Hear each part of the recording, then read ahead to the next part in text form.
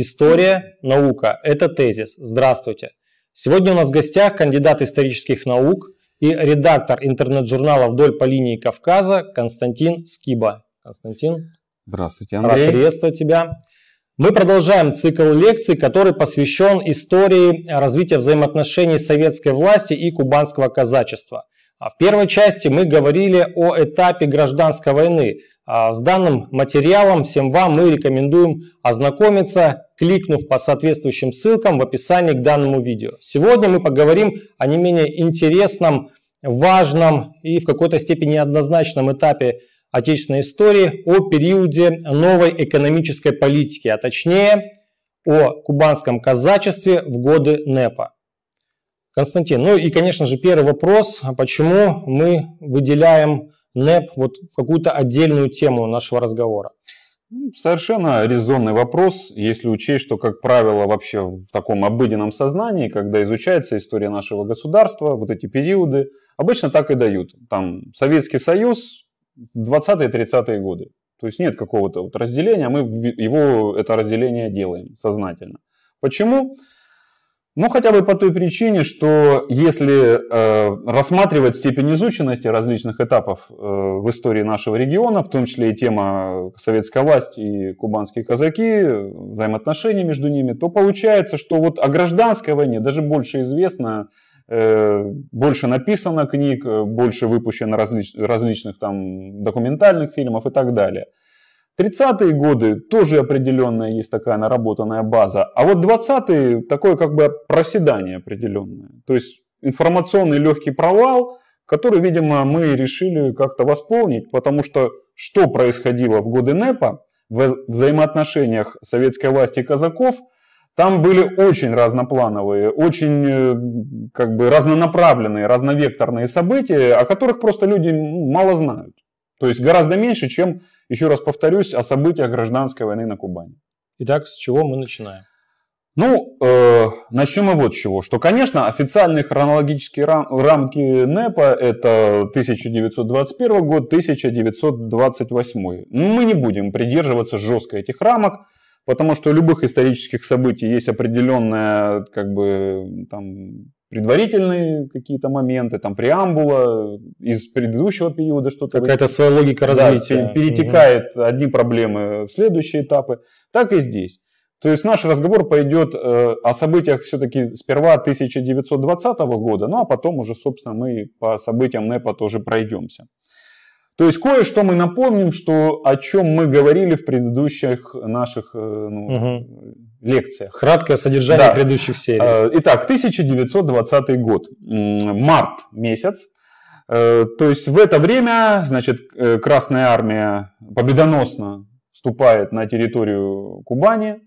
Значит, практически без боя был оставлен Екатеринодар, белые части отступают то есть вооруженные силы Юга России, подчиненные Деникину. То есть потом происходит э, так называемая новороссийская катастрофа, как ее сами белые называли, то есть эвакуация морем из Новороссийска и Туапсе в Крым. Э, ну, собственно, это достаточно известные события. Но вот интересный факт. В людской среде, ну, даже, наверное, вот среди тех людей, которые угу. толпились на этих причалах, когда уходили корабли, потому что взяли далеко не всех, даже такая, ну, бытовала, что ли, невеселая сатирическая песенка, частушка, что погрузили всех сестер, дали место санитарам. Офицеров-казаков побросали комиссарам. Ну, соответственно, нас вот и должна интересовать фраза о том, что побросали казаков. Да, действительно, Новороссийск, когда вот отступающие войска белые вошли в него, то есть далеко не все были эвакуированы морем. Угу. То есть в первую очередь э, были оставлены ну, те же самые казаки. Причем вот э, Донская армия, это структурное подразделение вооруженных сил Юга России, ну там было где-то примерно 22 тысячи шашек. Угу. То есть ну, огромное количество казачьей кавалерии. Их вообще отказались эвакуировать, их бросили. И, кстати, это даже нашло отражение свое в очень известном таком эпохальном фильме режиссера Герасимова «Тихий дон», то есть та самая экранизация 1957 класси... 57 года классическая, когда вот там была такая сцена, что стоит Григорий Мелехов на этом, в Новороссийске на, на причале, и вот эти вот одностаничники, братья-казаки, пароходы уходят, а они, они туда не попали. Угу. То есть это ну, яркий, конкретный исторический факт, который ну, реально имел место. Вот. Константин, а вот смотри, ты а, сейчас упомянул о, собственно, а, ВСЮР, то есть да, вооруженных силах Юга да, России, упомянул да. о донских а, казаках. А вот что касается кубанских казаков, их вообще взяли на эти уходящие корабли или они остались комиссаром? Ага, ну да, справа? точно. Ну, э, хорошо, да, правильно, потому что донские казаки это донские казаки, нас в первую очередь должны интересовать кубанские. Там у них немножко иная судьба была. Потому что в Новороссийске э, кубанских казаков ну, практически не было. Дело в том, что так называемая кубанская армия, Э, которая до этого называлась Кавказская армия вооруженных сил Юга России, то есть переименованная, она отступала э, по другому маршруту. Она отступала от красных войск на Туапсе, потом Сочи и дальше вот по этому побережью э, ну, в сторону границы с Грузией. Вот. Но, правда, их там ждал неприятный сюрприз. Дело в том, что они, видимо, надеялись, что они уйдут от преследования, угу. скроются от э, наступающих красных войск на территории независимого грузинского государства. Угу.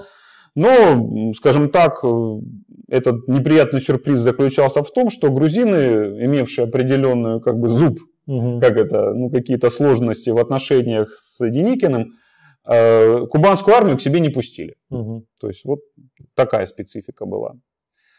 Почему не пустили? Что же там за зуб такой был интересный? Ну, дело в том, что м- грузины помнили события 1918 года, когда они захватили практически все побережье Черноморского Кавказа вплоть до Туапсе, объявив это исконными грузинскими землями, то есть сыграл свою роль этот грузинский национализм угу. нарождающийся. А когда Деникин уже вошел в силу, и когда войска значит, э, Красной Армии были вытеснены с Кубани и вообще с Кавказа, точно так же были стычки, боевые столкновения с грузинскими частями, которых выдавливали, выдавливали, додавили до границы, там вот Сочи-Адлер, э, современная Абхазия, и там вот такая шаткая э, нейтральная зона образовалась. Ну, то есть, э, получается, что в отношениях между добровольческой армией Деникина и грузинским правительством были очень серьезные проблемы. То есть, с одной стороны, вот это вот единая неделимая Россия Деникина, вот, и вот этот вот э, грузинский национализм, наверное, они там вспомнили еще свою царицу Тамару средневековую, что вот, мол, Великая Грузия, весь Кавказ был под грузинами, ну и вот это, видимо, сыграло свою роль, что когда практически 60 тысяч войск кубанской армии подошли к этой границе, их туда не пустили. Угу. То есть не разрешили переходить границу. То есть вот такой неприятный сюрприз ждал кубанских казаков в, этой, в этом месте. То есть получается, что это уже апрель 1920 года, и что тогда оставалось делать этой 60-тысячной кубанской армии? Ну, им пришлось сдаться в плен. То есть э, все они сдались под Адлером э, в плен Красной Армии, приняв все условия, которые были выдвинуты Реввоенсоветом, ну, революционным военным советом 9 армии, ну, 9 Красной Армии. Соответствующий акт стороны подписали в Сочи. Вот, и только очень малая часть кубанцев, ну, в основном офицеры, они смогли эвакуироваться в Крым, к Врангелю на пароходах, э, которые все-таки там немножко были присланы. То есть вот такая ситуация. И вот как об этих событиях вспоминал э, уже нами много цитируемый в предыдущих выпусках э, полковник кубанской армии Федор Елисеев. 19 апреля старого стиля 1920 года. Это был день великого смятения. Весть о капитуляции облетела все уголки и ущелья, где ютились полки и беженцы, до 60 тысяч человек. Все сразу заворошилось, все боялись сдачи и двинулись к Адлеру и за Адлер, ну, границы с Грузией. Все почувствовали конец всему, и очень близкий, и жуткий.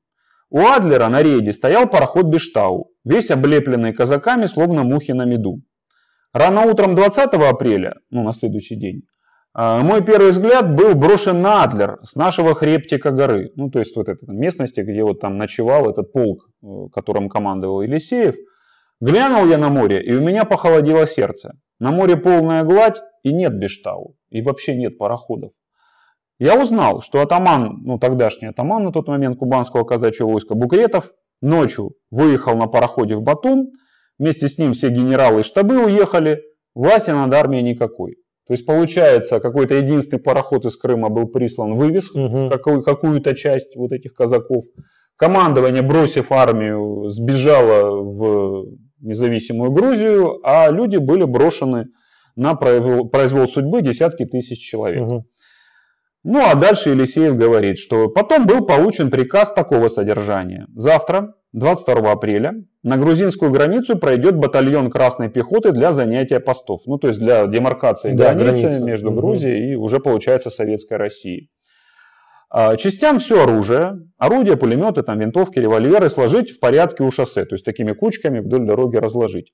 Винтовки в козлы, орудия и пулеметы в ряд выставить. И возле них не быть казакам, ну то есть от оружия отойти.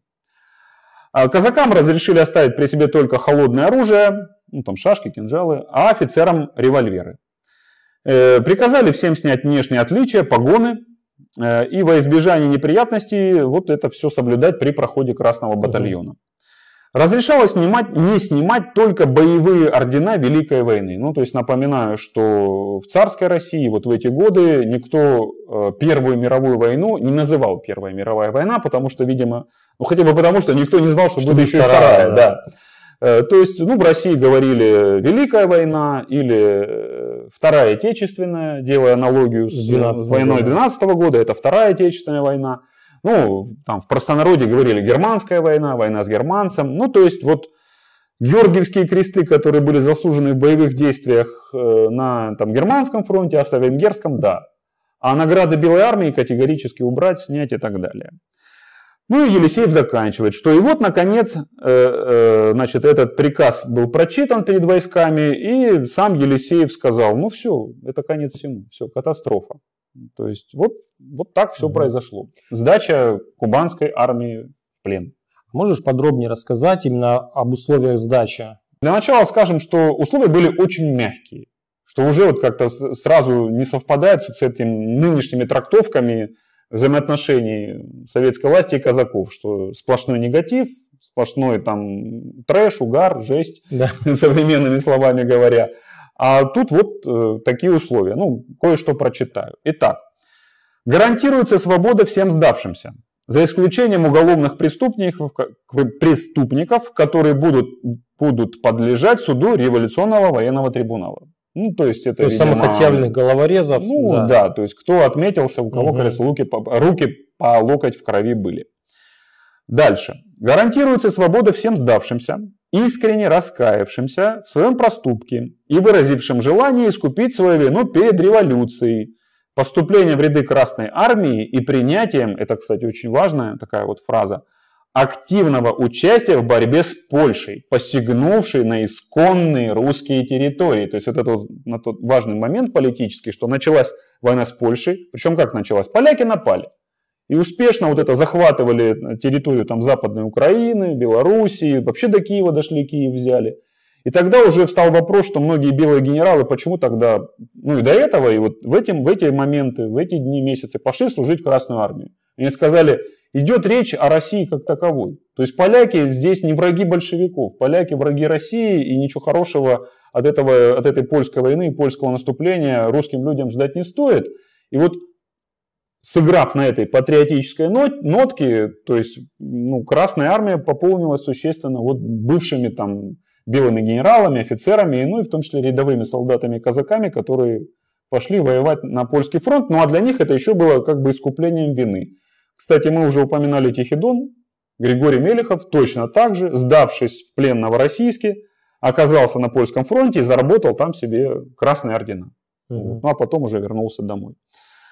Э, ну, еще немножко из этого как бы, документа. Инициаторам и руководителям восстаний свобода не гарантируется. Ну, то есть верхушку, вот эти наиболее оголтелых, одиозных лидеров мы арестуем, мы их закроем. Они подлежат или привлечению в трудовые батальоны, или заключению в концентрационные лагеря до конца гражданской войны. И только в виде особой милости они могут быть допущены в ряды Красной Армии. То есть опять поблажка. То есть вы плохие, но если вы, как говорится, покаетесь, вам тоже дадут возможность искупить. И причем и тут есть э, фраза «концентрационные лагеря». Ну, не надо думать, что это классический немецкий концлагерь времен Второй мировой войны. Мы еще, как вот э, эти красные концлагеря, какие у них были порядки, ну, мы упомянем. Ну и вот еще в завершении этого документа, что все огнестрельное оружие и шашки подлежат сдаче. Кинжалы могут быть сохранены под честное слово с тем, что они не будут обращены против советской власти и отдельных ее представителей. Но тут еще надо помнить, что ну, вообще на Кавказе ну, мужчина без кинжала это не мужчина. И казак тоже без кинжала практически никуда не выходил. То есть, чтобы не оскорблять вот это вот э, казачье самолюбие, вот эти вот, э, ну, как бы национальные, культурные кавказские моменты, ну, кинжалы оставили. То есть, угу. чтобы лишний раз вот не доводить до каких-то вот эксцессов. Угу. То есть, ну, вот так вот все это и произошло. То есть, вот такой документ. То есть, его основное содержание. А, Константин, ну вот смотри, мы установили факт, что а, вот так называемая эта кубанская армия, она практически полностью сдалась красным. Да. Вот неужели никого не расстреляли? А, да, действительно, не расстреляли. не расстреляли. Хотя, ну, мы вообще как бы вот эту тему, когда ага. стали разрабатывать и начали эти все ролики писать, вот как раз мы и пытаемся объяснить людям, что в современном российском обществе накопилось столько исторических мифов, мифов столько исторической неправды, с, которой, с которыми нужно бороться. В том числе вот один из них – что чуть что стоило вот представителям белого движения оказаться в плену у красных, тут же расстрел. Вот, вот тут же расстрел вот всех подряд. Э, кстати, на вопрос, а что было с этими пленными казаками потом, опять же написал тот же Федор Елисеев. Он написал так, что от Сочи до Туапсе мы шли пешком. С сумками на плечах и с бурками под мышкой. То есть пешим порядком их обратно как бы отправили. Из Туапсе громадными составами поездов нас доставили в Белореченскую, а оттуда пешим порядком мы пошли в Екатеринодар. На удивление, никакого конвоя. Хочешь, бежи. Ну, никто не охраняет. Лишь один матрос на кабардинском коне под казачьим седлом э, летал вот это, по длинной ленте движущихся пленных людей, что-то там выкрикивал, командовал, но его никто не слушал, и он совершенно не придирался никому. Ну, то есть, как бы он формально выполнял какие-то там угу. конвойские функции. Ну, а Они формально его Пленные слушали, казаки да. формально слушали и шли, шли куда шли. Да. Часть казаков направили в Армавир, но главную массу сосредоточили в Екатеринодаре. На окраине, на Дубинке, в больших там ну, дощатых, там кирпичных сараях, каких-то сыпках зерновых. Ну, то есть, вот, вот это тот самый концлагерь, куда их э, привезли.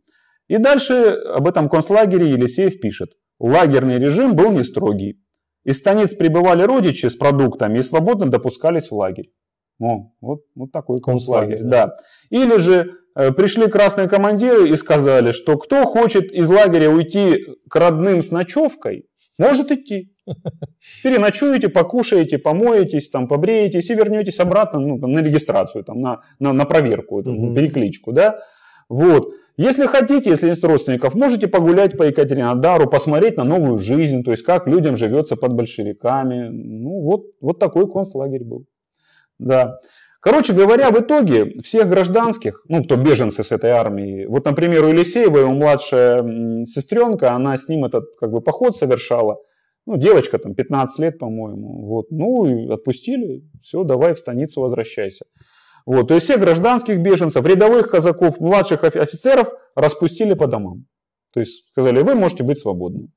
А старших, ну так называемых штаб-офицеров, ну того же самого Елисеева, он был полковником, угу. Повезли в Центральную Россию на фильтрацию. Ну, на проверку. Вот было же объявлено, что кто, у кого руки в крови, кто отметился в зверствах, того мы все-таки судить будем и накажем. Ну, то есть, получается, судьбы у пленных казаков, сдавшихся под Адлером, были ну, самые разнообразные. При рядовых, э, ну, мы уже сказали, что их распустили по домам. Что касается офицерского состава, ну, старшего, ну, можно вспомнить, что, во-первых, вот командующий кубанской армией генерал Морозов, ну, он тоже сдался в плен, да, его в 20 году приговорили к тюремному заключению. Но в 1922 уже освободили. То есть он просидел меньше двух лет. Потом он пошел служить в Красную армию. Он служил при военно-политической академии в Ленинграде. вот, делал карьеру. Ну, правда, в 30 году его опять арестовали, опять приговорили к заключению, но это уже совсем иные события, мы еще о 30-х годах будем говорить отдельно, но тем не менее, вот, пожалуйста, человек немножко посидел, ну а потом все. В принципе, на хлебное место. Такое. Да, да. А, потом что еще? В том же самом Екатеринодаре многих офицеров, которые были из технических войск, там саперы, артиллеристы, их сразу в Красную армию забрали. Ну, на тот же самый польский фронт нужны специалисты, да. Немногих, ну тоже кто кого-то из офицерства, определили инструкторами в Красное кавалерийское училище, как писал Елисеев, которое помещалось в здании бывшего женского Мариинского института. Ну, сейчас это тоже военное учебное заведение, угу. которое в Краснодаре в простонародье называется училище шифровальщиков, да, вот, а оказывается, там в 20-е годы было э, кавалерийское училище. Потом, кстати, через время оно получило очень интересное название. Северо-Кавказская кавалерийская школа горских национальностей. То есть юные черкесы, абхазы, э, осетины, э, тот же самый будущий дважды герой Советского Союза Иса Плиев. Вот все они свою офицерскую карьеру начали в этой кавалерийской школе горских национальностей. То есть, получается, отпущенные пленные кубанские казаки-офицеры учили потом вот в этом учебном заведении их всем премудростям кавалерийской службы. А вывезенных в Россию штаб-офицеров, э, их проверяли в ЧК, и если они не хотели служить в РКК, ну, то есть им предлагали, то есть мы вас проверили, более-менее к вам претензий нет, не хотели бы вы поступить на высокие командные должности в Красную Армию? То есть им всем предлагали. Вот. Ну, кто говорил «да», а кто-то говорил «нет». Вот кто говорил «нет», их высылали в центральные губернии ну, на различные гражданские работы. А что это за работы были? Ну да, то есть там что, землю копать? Нет, не землю копать. Э, то есть вот э, мы упоминали Елисеева, да. а он попал в плен со своим старшим братом. То есть их вообще было три брата. Один оказался там в Крыму, в итоге там погиб. Э, а вот два брата, Андрей и Федор Елисеевы, они вот в этот плен ну, вместе попали, вместе были. И вот до этого дошло, когда вот им начали предлагать.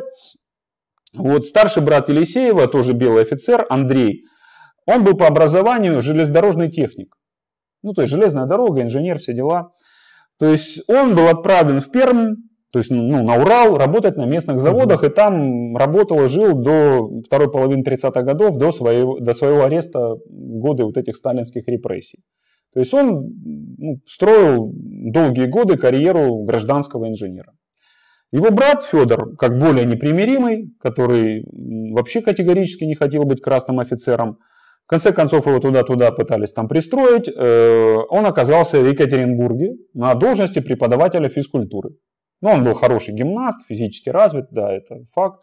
Потом он там джигитовал, там за рубежом, вот в этих э, турне участвовал. До 52 лет в седле сидел и джигитовал. Ну, можно представить, какая у него была физическая подготовка. Вот. Но, тем не менее, вот, э, для него это был просто повод сбежать. В мае 1921 года он уже там в Екатеринбурге где-то подпольно добыл удостоверение студента лесного факультета Уральского университета поехал якобы на практику в Петрозаводск, в Карелию, ну там лесаж, да. все такое, а там граница с Финляндией. Он ее нелегально перешел, сбежал в Финляндию, потом оказался в конце концов вот в стане этого ну, белого движения зарубежного, ну и вот, собственно, так его дальше, ну, жизнь уже в эмиграции и шла. То есть вот так вот такие судьбы были у этих э, пленных кубанских офицеров э, высшего плана. Да. Что было дальше? Ну, дальше можно было бы как рассуждать. Если так мягко очень советская власть обошлась с пленными казаками, э, встает вопрос, а смысл вообще дальше продолжать гражданскую войну? Потому что действительно это факт, тоже малоизвестный, что э, то есть советская власть прилагала кучу усилий, э, то есть много раз протягивала, как говорится, руку открытую для того, чтобы вот примирить себя вот с этой как бы оппозицией. Э, ну, Казалось бы, да, все, конец гражданской войне. И официально, в принципе, считается, что в 1920 году, ну, как бы, боевые действия основные гражданской войны на Кубани закончились. Потому что действительно, отбив краю белых, большевики, они пытались осторожно и мягко перестроить жизнь в казачьем крае. Это факт. Э, ну, в принципе, это понятно. Потому что кто эту политику мягкую проводил? Те же самые кубанские казаки, только красные. Э, мы, по-моему, упоминали в предыдущих выпусках, что Один из таких самых известных красных кубанских казаков был Ян Полуян. То есть сам уроженец станицы Елизаветинской, председатель Кубана-Черноморского ревкома, там, кстати, целый клан их был, там у него были братья, сестра, они все вот в этих различных должностях в советской иерархии ну, отметились. Вот. Ну, а Ян Полуян из них самый такой активный. То есть он проводил эту политику, прекрасно зная, что такое казачество, сам ну, являясь казаком. казаком. Плюс у него были определенные как бы, документы, распоряжения, в частности, рекомендации э, Всероссийского съезда трудового казачества, на котором вот эта вот мягкая политика была выработана. Да. Ну, поэтому в течение весны 2020 года областные органы, ну уже советские органы, на Кубани, они вообще никаким репрессиям не прибегали. То есть, ну, в конце концов, мы только что сказали, что всех рядовых казаков тут же отпустили по домам. Вот, то есть комитеты бедноты не создавались. То есть вот то, что многое, что уже было в Центральной России в годы военного коммунизма, уже ну, наработано и введено, здесь с этим не торопились.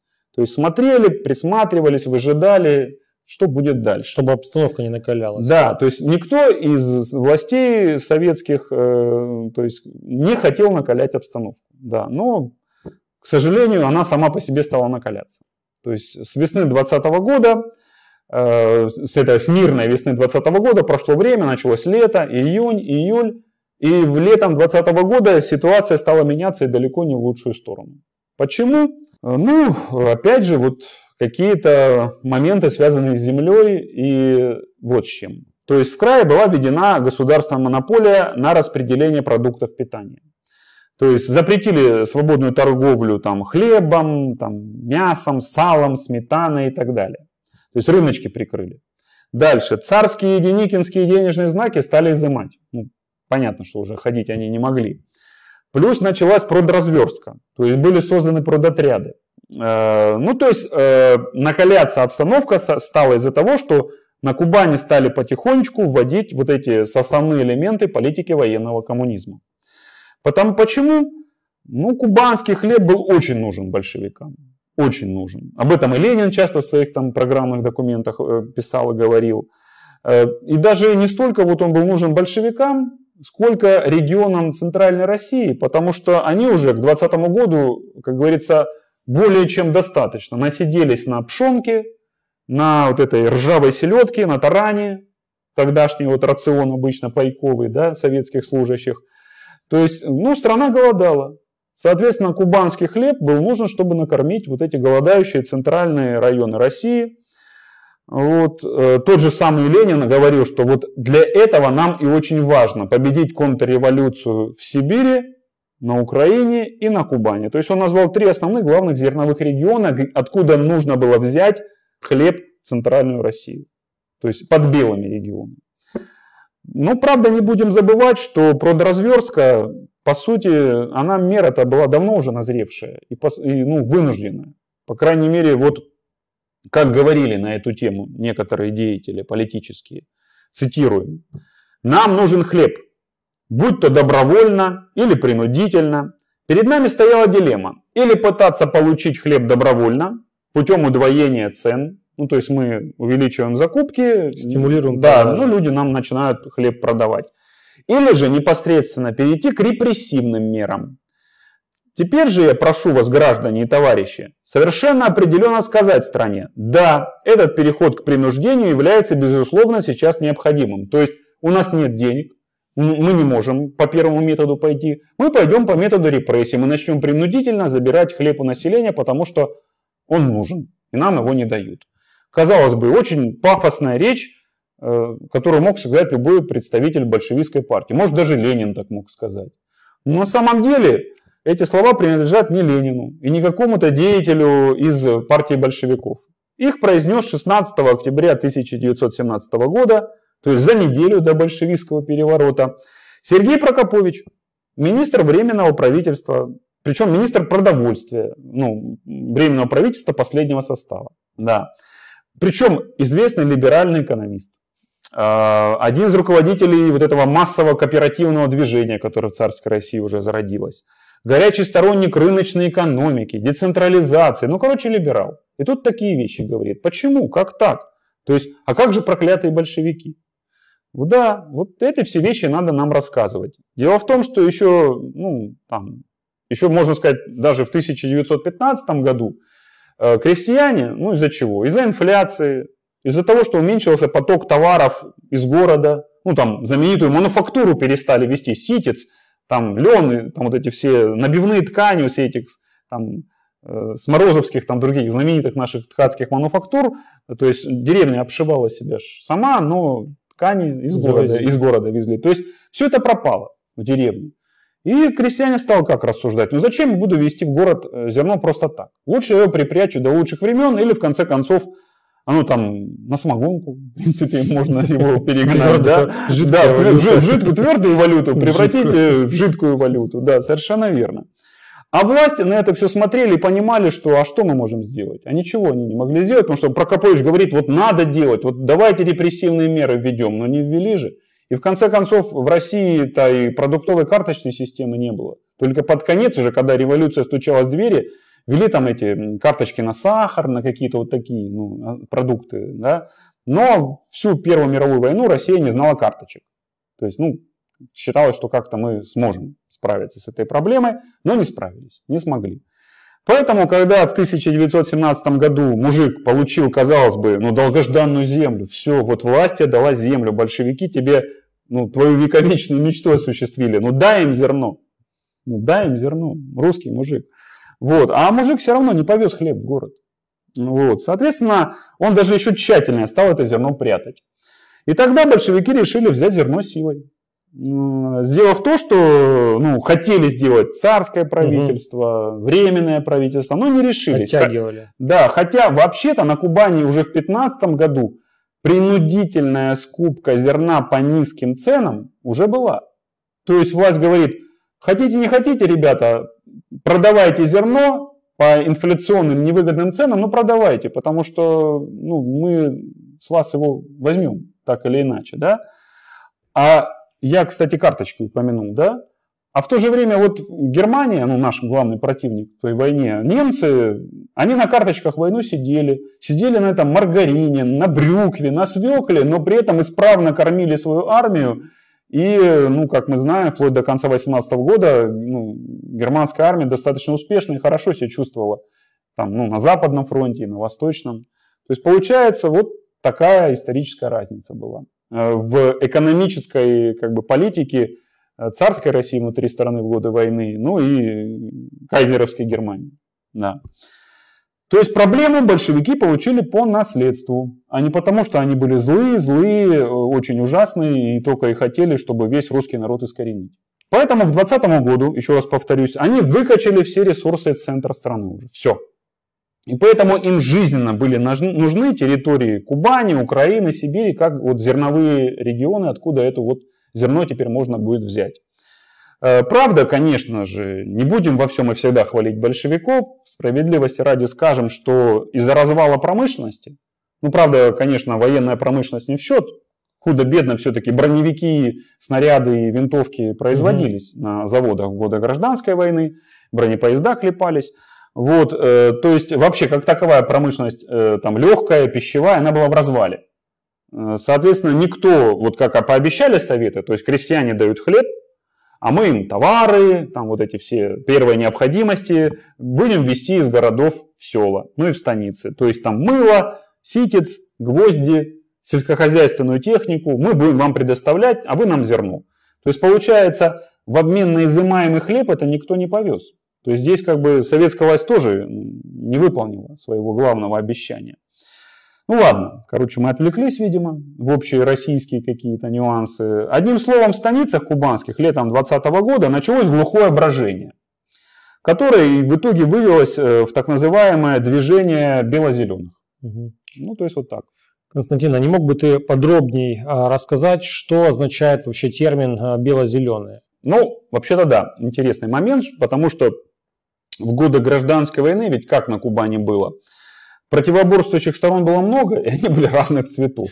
Например, были ну, классические, ну, белые, да, э, красные, потом кубанские самостейники, которых можно, наверное, вот флаг Кубани посмотреть, он да. такой трех, трехполосный. Угу. Ну, сказать, что были, значит, кубанские самостейники э, малиново, синие, зеленые. Угу. Да, вот. Вот. Потом были классические зеленые, вот эти вот партизаны лесные. Э, кстати, красно-зеленые у нас были. Если кто в центре города Новороссийска обращал внимание, там есть улица красно-зеленых. Да. Ну и получается, вот в этом списке присутствовали и бело-зеленые. Хотя, если вот увлечься этой цветовой гаммой, можно вспомнить, ну, кого там, анархисты с их там знаменами черными, с этими нашивками, черепами, костями, угу. тоже такая символика мрачная. То есть и черные тоже у нас были, получается. То есть да, бело-зеленая это одна из категорий э, участников гражданской войны на Кубани. По своей сути, ну кто такие бело-зеленые? Это вооруженная позиция советской власти, э, как таковая. То есть просто враги советской власти образца 1920 года. Причем весьма такого пестрого политического характера. То есть если таким даже каламбурчиком говорить, то бело-зеленые были от монархистов до анархистов. То есть они были разные. Причем, ну, они конфликтовали между собой, но тут у них э, появился общий враг, советская власть, ну, которая их на время спаяла в какую-то общую массу, и они вот этой общей массой выступали против Советов. Угу. Да. Насколько я знаю, в принципе, вообще э, в пространстве общественном, информационном э, под э, бело-зелеными именно вот как-то понимают казаков.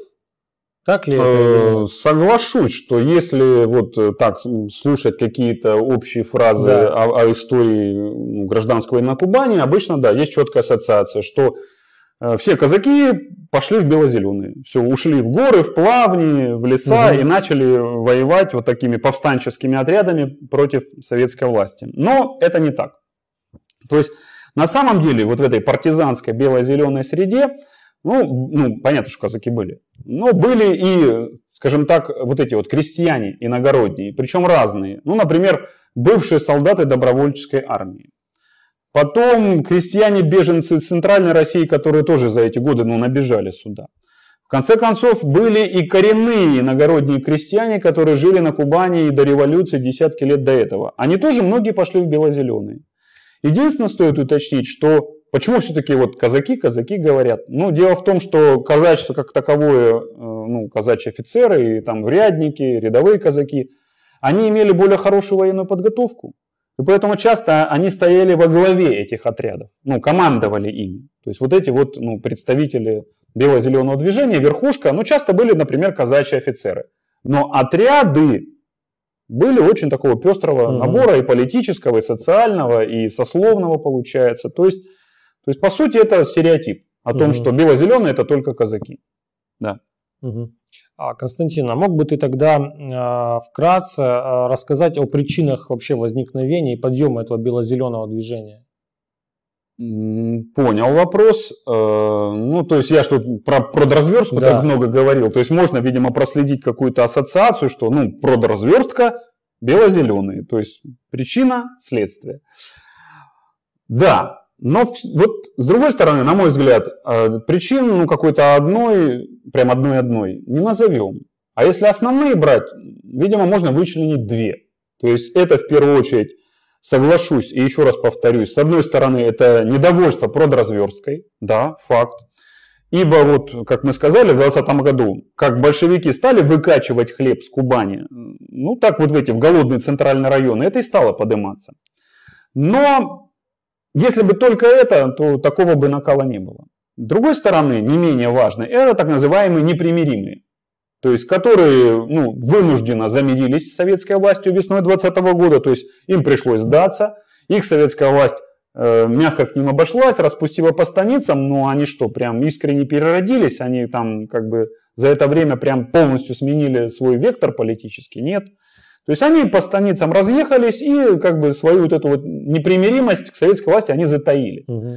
То есть, тем более, что когда добровольческая армия в Крым ушла, то есть они видят, что ситуация политическая изменилась, то есть и кубанская армия сделалась под Адлером, а там Деникин сдал командование в Рангель в Крыму, то есть ну какие у них шансы? Поэтому они на время успокоились, затаились, ну и просто ждали удобного момента. Если говорить о каких-то других причинах бело-зеленого движения, то, судя по воззваниям так называемой кубанской повстанческой армии, ну, то есть наиболее крупного соединения бело-зеленых, потому что они часто и свои прокламации, листовки выпускали, то есть документы письменные сохранились. Кроме двух основных причин, которые мы уже назвали, еще можно проследить, что там есть недовольство жестокостями комиссаров и коммунистов как таковыми, угу. а потом развалом Святой Руси, э, э, также вот этой богоборческой антирелигиозной политикой, которую начали большевики. Хотя, все-таки, на мой взгляд, э, на третье место по причинам бело-зеленого движения можно упомянуть вот этот э, сепаратизм, самостийное движение кубанское, которое в умах э, не всех, но части кубанского казачества присутствовало, тем более, что некоторые члены вот этой законодательной кубанской рады, то есть вот эти активисты, самостийники кубанские, они, кстати, многие из них попали в плен вот вместе с этой кубанской армии, вообще в плен попали. А, их отпустили. Какое-то время они там попытались делать вид, что они готовы к сотрудничеству с советской властью. Но потом они позбегали вот к бело-зеленым и там развернули свою вот эту вот агитацию, пропаганду дальше на тему кубанской самостийности, автономии и все, что с этим связано. Угу. Одним словом, летом 1920 года согласно э, статистике, которую ну, большевики собрали, э, на Кубани было около 30 крупных повстанческих отрядов, ну еще и мелкие, разнообразные. Самый большой из этих отрядов – это армия Возрождения России генерала Фостикова, которая насчитывала 5,5 тысяч бойцов, э, и у них были там и орудия, и пулеметы, ну, серьезно они там окопались в своих горах.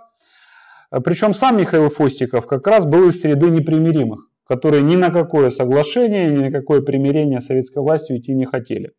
В армии Деникина в годы гражданской войны он был командиром второй кубанской казачьей дивизии. Почему он был непримиримый? Ну, в конце концов, у него красные расстреляли всю семью в станице. То есть какие-то личные мотивы. Да, ну, было. как часто, вот тот же самый Федор Елисеев, которого мы упоминали. Главная претензия, к прокля... как он говорил, к богом проклятой советской власти за то, что какой-то там э, красный командир полевой, которого потом, кстати, сами красные расстреляли за самоуправство, он расстрелял его родного отца. Все. Вот после этого уже никакого как бы, отношения положительного к советской власти у Федора Елисеева не было. То есть это ну, личные мотивы. Так и у Фостикова тоже. Итак, весной 2020 года, когда Фостиков э, вместе со всей армией, вот они отступают же, вот Новороссийск, эвакуация, сдача Куманской армии под Адлером, его с небольшим отрядом его, его отрезало. Ну, его отрезали от основных войск. И он ушел с этим отрядом в горные станицы, и к лету 2020 года уже создал на базе этого отряда, ну, в кавычках, армию возрождения России из нескольких тысяч человек. Ну, в основном казаков из станиц Баталпашинского отдела. Ну, станица Баталпашинская – это современный город Черкесск. Угу. Соответственно, это территория современной Карачаева-Черкесии. Ну, места горные, очень удобные для партизанской повстанческой борьбы. И вот как раз к Фостику в, это, в эти горы прибыли из Крыма посланцы от Врангеля э, с, со следующей информацией, что ждите от нас сигнала к выступлению, которое скоро будет. То есть вот, чтобы мы, ну, наши действия были согласованы. Угу. Так а что это за сигнал был, о котором они говорили? Ну, это даже не какой-то там радиосигнал, угу. типа пропипикали все. Нет, это, это было событие, которое, как бы, собственно, и запустило ну, дальнейшие, как бы, эм, вот эти вот моменты противостояния между красными э, и белыми, ну, в смысле, казаками и, и советской властью. Это, этим событием, этим сигналом был десант белых войск из Крыма под командованием генерала Сергея Улагая, по крови, кстати, кубанского черкеса, э, с очень хорошей репутацией времен Первой мировой войны и даже гражданской, что особо крови на нем никакой не было. Угу. То есть честный служака, рубака, кавалерийский генерал. Вот его Врангель в Крыму и назначил командовать этим десантом, который 14 августа 1920 года высадился с кораблей э, в станице Приморско-Ахтарской на Азове. Ну, высадилась очень такая серьезная войсковая группировка, это где-то 4,5 тысячи человек, там пехота, кавалерия, артиллерия, части тыловые, да. А, ну, правда, было еще два небольших отвлекающих демонстративных десанта на Тамане и под Анапой. Ну, а основной десант это все-таки в Ахтарях. Итак, вот как только высадились, тут же белая конница там вскочила на коней, и под личным командованием Улагая рванула к станице Тимошевской. Почему к станице Тимошевской? Ну, это важный железнодорожный узел, от которого уже все железнодорожные пути и транспортные артерии вели на Екатеринодар. Соответственно, была главная задача быстрым рывком взять Екатеринодар. Ну, а дальше уже этот успех надо было развивать. И, в принципе, поначалу наступление шло успешно. То есть немногочисленные части Красной Армии в основном ну, отступали или они уничтожались наступающими белыми. Потому что на Кубани на тот момент красных войск было мало. Тогда, ну, кроме сидевшего в Таврии, в Крыму, Врангеля, другая проблема была это польский фронт. Та же самая первая конная армия Семена Буденного, которая участвовала вот в этих боевых действиях на Кубани весной, она на этот момент уже находилась на польском фронте, участвовала вот в этой знаменитой попытке экспорта мировой революции в Европу, как это еще называли ее, кавалерийская атака на капитал, когда там были такие лозунги «даешь Варшаву», «пролетарий на коня». Угу.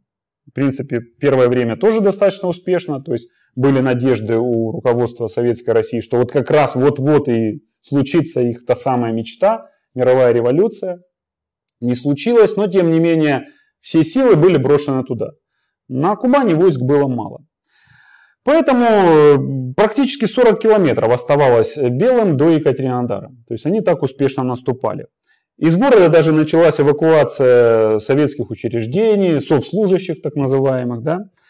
И э, единственное, что вот чего ждали еще белые, что вот-вот, вот сейчас, вот со дня на день, ну, завтра буквально, вся Кубань взорвется всеобщим восстанием против красных. И тогда все, победа. Все, победа. Плюс еще и Фостиков со своей бело-зеленой армией, он с гор вышел и наступал на Армавир. То есть он наступает на Армавир, Улагай наступает на Екатеринодар, берутся в клещи красные и все. Дальше все будет хорошо. Но этого не случилось. В конце концов, красные подтянули резервы, свежие части, э, ну и разбили врангелевские войска, можно сказать которые были эвакуированы в Крым обратно. То есть они, потерпев неудачу, ушли обратно, потому что, ну как, никакого всеобщего восстания не случилось, на которое они рассчитывали. Причем, несмотря на пропаганду советской власти, что там несчастные разбитые врангелевцы отступали, теряя все подряд, на самом деле, да, потери они понесли страшные. Когда потом собирали статистику, выяснилось, что вот в пехотных частях, в ротах, причем часто из офицеров, такие элитные части, там, ну, 60-70% выкосило. Вот. Но в то же время десант вернулся обратно в двойном составе, потому что с ними в Крым ушли где-то тысяч десять казаков и тех, кто к ним примкнул все-таки. То есть вся Кубань не поднялась, но определенная часть ушла с ними. Кстати, даже 6 тысяч лошадей они с собой перевезли. И даже пленных красноармейцев они перевезли в Крым. То есть это было организованное отступление, и пушек они привезли в два раза ну, больше обратно, чем ну, на, Куб, на Кубань высаживались. То есть это были трофеи, взятые у красных. Но, тем не менее, это все-таки стратегическая неудача. Плюс армия Фостикова тоже была разбита, потеряла всю артиллерию, там, боеприпасы, ушла через горы в Грузию, ну, где-то 2000 человек. 20-23 э, сентября 1920 года отряд Фостикова был на кораблях вывезен в Крым, в Феодосию. Ну, то есть к Врангелю присоединился, угу. тоже уже покинув территорию Кубани и Черноморского побережья Кавказа. То есть вот такие события. И, кстати, об этих событиях интересно достаточно писал, ну вот об одной из акций вот этого армии возрождения России Фостикова в сентябре 2020 года, то есть уже как бы десант Улагая разгромлен, но Фостиков еще в горах держится. Вот об этом периоде интересно написал такой был советский писатель Иван Рахилло.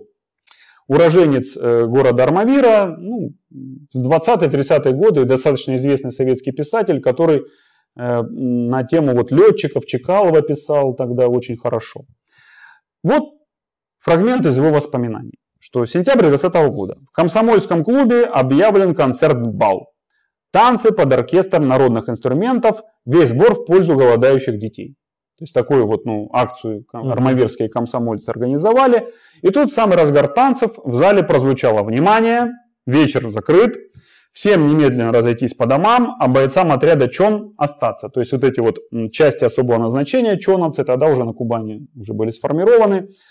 Ну, э, говоря современными мерками, это что-то типа Росгвардии. Угу. То есть это не армия, это такого ополченческого милиционного резервистского плана формирования, который часто использовали для антипартизанских таких вот действий. То есть, типа, всем собраться. А, получен приказ. Нашему отряду ЧОН выступит в сторону станицы Невиномысской. Банда атамана Фостикова численностью до 600 сабель атаковала поезд с делегатами Коминтерна, которые возвращались из Баку со съезда народов Востока. Тоже, кстати, интересное событие, когда большевики вовсю экспериментируя с различными вещами, вот, даже попытались объявить какой-то, знаете ли, что ли, мусульманский джихад-газоват капитализму. Когда вот э, собрали такой съезд мусульманских народов Востока в Баку, там хроника сохранилась, там, там Зиновьев там очень много там что-то выступал, говорил. То есть вот даже так. Даже вот эту тему пытались использовать для своих целей мировой революции. Итак, то есть э, поезд был атакован. Э, ну, отряд чоновцев выступил навстречу на пулеметных тачанках, значит, собравшись там быстро с оружием.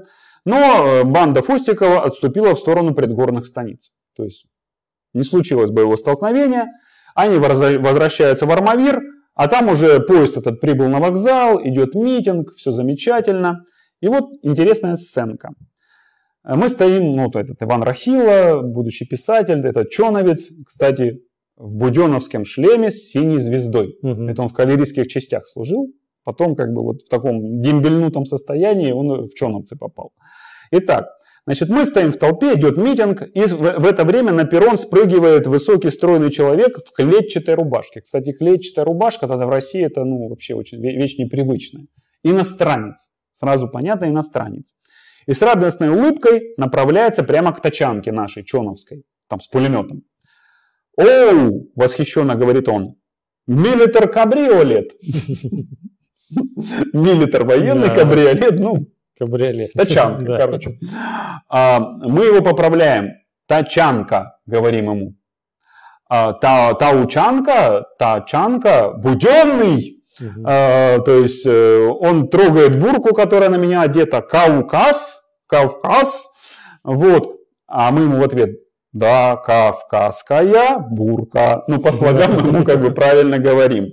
Бурка, бурка, тау, тау, таучанка. Mm-hmm. Вот, незнакомец э, говорил с явным иностранным акцентом. Ну, хотя вроде русский понимал, да. На прощание потом мы с ним пообщавшись узнали, что он представляет в Коминтерне американских рабочих по профессии журналисты живут, и зовут его Джон Рид. Тот самый mm-hmm. знаменитый Джон Рид. Оказывается, вот на вокзале города Армавира милитар кабриолет рассматривал подробно и э, свой как бы лексикон кавказский повышал. Mm-hmm. Вот так вот. Константин, а мог бы ты все-таки выделить основные причины, которые предопределили, скажем так, неудачный исход десанта Улагая? Да, совершенно правильное уточнение, хотя косвенно я что-то там уже успел сказать, но теперь лучше конкретно э, высказаться, что Основной причиной э, вот э, того, что все-таки неудача была у этого десанта, это был крах надежды там белых стратегов, кто это все планировал, что стоит им только вот появиться на Кубани, тут же начнется широкое всеобщее восстание кубанского казачества против советской власти. Этого не случилось. Почему? Ну, в конце концов, э, люди уже навоевались. И они не видели уже смысла в дальнейшей вот этой вооруженной борьбе. Это, это явно главная, может быть даже практически основная причина неудачи этой военной операции. Хотя, конечно, можно еще сказать, что если сперва в боевых действиях удача была на стороне белых и даже какое-то превосходство определенное численное, а потом, подтянув резервы, войска, даже там с других губерний, оперативно все переправив, части дополнительные, то есть образовался перевес в силах э, уже у красных, и в людских, и в материальных, в ресурсных, там, вплоть до бронеотрядов. И уже все. С этого момента как бы удача изменила угу. белым, и они стали терпеть поражение. Ну, соответственно, какой-то фактор внезапности, он уже не играл да, никакой роли. Совершенно верно. Если сперва еще сыграл свою роль фактор внезапности, потом уже началось противостояние, у кого больше солдат, у кого патронов, и у кого там броневиков больше. Угу. То есть вот до такой степени уже. Хотя вот э, как бы это совершенно правильное замечание, что вот ну все-таки уточнили мы причины. Но тут еще, видимо, стоит важно м, обсудить последствия, которые были вот этого десанта. они были тоже очень важные, потому что э, этот десант изменил э, политику большевиков по отношению ну, к населению Кубани и конкретно к казачеству. То есть, с одной стороны, десант Улагая породил волну жестоких репрессий и серию военных операций против бело-зеленых. С другой стороны, большевики усилили свою агитационную и культурно-просветительскую работу в казачьей среде. То есть они увидели, что вот это их мягкое отношение в начале 20 года, весной, оно на самом деле большое как бы вот, ну, не сыграло роли. То есть чуть что, и оказывается все старые проблемы опять всплыли на поверхность. Поэтому, вот, например, 27 августа 1920 года во время десанта Улагая в Екатеринодар прибыл нарком военмор Троцкий. То есть, э, ну, советский военный морской угу. министр Лев Давыдович, да, второй человек государстве на своем знаменитом бронепоезде, на котором он насался по всем фронтам гражданской войны. И с трибуны он так грозно, многозначительно заявил, что если кулак и казак попробуют подняться против советской власти еще раз, то тяжкий каток прокатится по Кубани, и ни одна станица пожалеет о том, что ее смутили и обманули. То есть это были прямые угрозы жестоких репрессий, если ну, ситуация не изменится. Тем более, что такие слова Троцкого большевики, ну, естественно, подкрепили делом. Опасаясь всеобщего восстания казаков, ну, вот этих самых недавно отпущенных угу. по домам и прощенных. Ну, правда, как мы уже сказали, восстания не произошло. Но большевики, ну, его, видимо, тоже ждали, ну, как ждали белые, да. Вот. Они начали арестовывать, держать в заложниках, а также высылать из станиц всех потенциально опасных людей, чтобы этого взрыва не произошло. Ну, в основном это были священники, казачьи старики, офицеры, члены их семей. А, ну и если потом, когда десант уже был ликвидирован, ситуация уже успокоилась, кого-то из них выпустили на свободу. Ну, например, арестованных, вот опять же вспоминаем Федора Елисеева, он говорит, «А, мою сестру, которая вместе со мной участвовала в этом походе кубанской армии, потом сдали из плена, меня увезли в Центральную Россию, в эту фильтрацию. Сестру мою младшую отпустили в станицу, так ее в подвал посадили, в ЧК местное. Угу. Потом выпустили, когда десант прошел. Э, но кое-кто так никогда в станице и не вернулся. То есть что произошло? Опять же, если обращаться к воспоминаниям Федора Елисеева. Летом 1920 года он оказался в Москве. Ну, там их куда-то опять возили, там перевозили. И узнал, что на вокзале рядом с их поездом стоят три состава с кубанскими офицерами, которых везли куда-то на север. М-м. Елисеев навестил земляков-станишников, которых там нашел. Угу которые ему рассказали, что их, да, это факт, что их отпустили из лагеря в Екатеринодаре еще тогда. Они спокойно приехали в станицы, жили мирно, как бы никаких эксцессов не было. Э, вдруг, когда высадился Улагай и Фостиков вышел с гор, ну как это, как бы они так им говорили, да, нас вызвали в комиссариаты, в отделах там, вот, по месту жительства, сказав для регистрации. Они ничего как бы плохого не думая, тем более они про этот десант Улагая толком ничего и не знали, что там что-то произошло, да. Они спокойно пришли на регистрацию. Тут их оцепляют войсками, грузят на поезда и увозят с территории Кубани. То есть это вот те самые младшие офицеры, урядники, ну то есть унтер-офицеры, там станичные писаря, граждан, чиновники войска ну, гражданской направленности – Эм, ну, там, старики, офицеры, ветераны, священники, то есть вот эту всю массу изъяли. Вот в станичном вагоне, где как раз сидели казаки из станицы Кавказской, Елисеев увидел. Там был, он пишет, наши дряхлые старики. Из станицы угу. их вывезли. Например, войсковой старшина Антон Ломанов, которому уже было за 70 лет. Ну, казачий историк знаменитый. Потом военный чиновник Слепухин. Э, бывший станичный атаман Харунжий Булдыгин. Э, мои сверстники, пишет Елисеев, станичные учителя Вася Боярский, Гриня Белоусов, ну то есть станичная интеллигенция. Э, потом мальчишка, 22-летний писарь, вина которого была только то, что он в, этом, в отделе ну, писарем был. То есть их всех арестовали и вот в этом вагоне они сидели. Никто из них не знал, куда их везут. Ну и я, естественно, тоже. Э, но при этом Елисеев уточняет, что составы практически никто не охранял. То есть их просто вот с Кубани вывезли подальше от десанта, и можно было там выпрыгнуть где-то на ходу, сбежать. Но никто никуда не бежал, потому что думали, ну что, ну там везут, ну, ничего страшного не было. У нас же уже был опыт, ну мы сдались в плен. Нас, Обратно вернут. Нас отпустили, угу. что тут такого. Ну подумаешь, там из-за этого десанта нас на время как бы вывезли. Там покатают, посидим, потом обратно вернут. Но в конце концов, как писал Елисеев в своих воспоминаниях, эти 6 тысяч кубанских офицеров, чиновников, вольно определяющихся из станичных атаманов и действительной службы отставных, которых арестовали во время десанта Улагая на Кубань, э, их привезли на север, Холмогоры, ну туда вот, да? угу. выделив офицеров специальных войск, ну опять же там саперы, артиллеристы, технические э, такие войска, всех остальных расстрелял красный мадьярский караул на Северной Двине, как передавали мне уцелевшие офицеры, специалисты техники, угу. которых, вот, ну, которых пощадили. Ну, то есть, получается, вот такие вот предупредительные жестокости, ну, по факту. Из-за этого десанта улагаем. И другой вопрос. А если бы не было десанта, наверное, никаких бы расстрелов не было. То есть на ком вина лежит? Ну, на советской власти, конечно, она лежит. Но как минимум половина вины за эту кровь невинную лежит на белой армии из Крыма, которую вот эту военную акцию устроили, свалили эту проблему на головы населения Кубани, а которые их не поддержали, они уже не хотели воевать. Угу. Ну, правда, еще один момент. Это же устные воспоминания мигранта. Ему там рассказали. Да, от кого-то он слышал. Я уже да. привык к тому, что никогда не стоит доверять информации только из одного источника, не более предвзятого. Точно так же, как есть красная пропаганда, есть белая пропаганда.